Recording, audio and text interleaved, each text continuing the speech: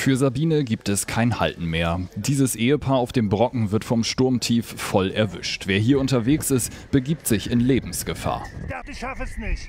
Mir wurde geholfen. Mit 120 km/h haben die Böen hier aber noch nicht ihre Spitze erreicht. Erwartet werden hier oben bis zu 175 Stundenkilometer. Das Sturmtief trifft zunächst mit bis zu 120 km/h auf den Westen. In der Nacht wird dann ganz Deutschland mit bis zu 130 km/h erfasst.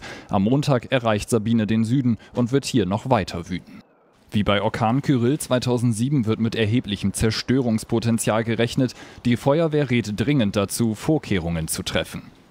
Schauen Sie einfach mal von außen auf Ihr Gebäude rauf. Gucken Sie, ob irgendwelche großen Windlasten da sind. Markisen einrollen, Sonnenschirme runterklappen oder vielleicht auch nur eine Plane festbinden, sodass da die erste Gefahr schon gehindert ist.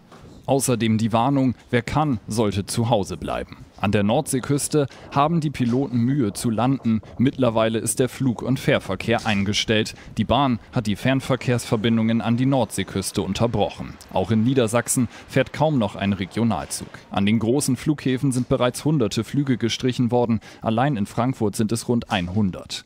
Sabine hat dagegen Großbritannien unter dem Namen Chiara schon voll im Griff. Ein Vorgeschmack auf die Kraft des Sturmtiefs.